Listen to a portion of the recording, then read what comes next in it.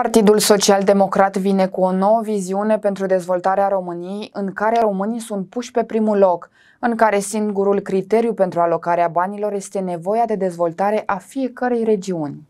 Urmează o perioadă și mai grea în care economia trebuie pusă pe picioare, nu cu vorbe cum au făcut reprezentanții guvernului PNL, ci cu sprijin concret, fără birocrația care a explodat în ultimele 10 luni de guvernare PNL. Până în 2024, Partidul Social Democrat are șansa să aducă cel puțin 35 de miliarde de euro în România. Banii nu vin prin postări pe Facebook, ci pe baza proiectelor concrete depuse. Obiectivele Partidului Social Democrat pentru următorii ani sunt clare, o dezvoltare sustenabilă sustenabilă și echitabilă, reducerea decalajelor pe plan rural, creșterea autonomiei locale, tranziția la economia circulară. Toată Europa pune accent pe acest aspect, întărirea identității naționale prin identificarea tradițiilor locale și regionale. PSD își propune să cheltuiască 35 de miliarde de euro pentru fiecare comunitate și român până în 2024. După experiența avută, cred că se impune o concluzie pe care toată lumea o cunoaște. Ne-am făcut rău singuri. S-au stabilit noi reguli în plus, noi hârtii și acest lucru ne-a dus într-un blocaj.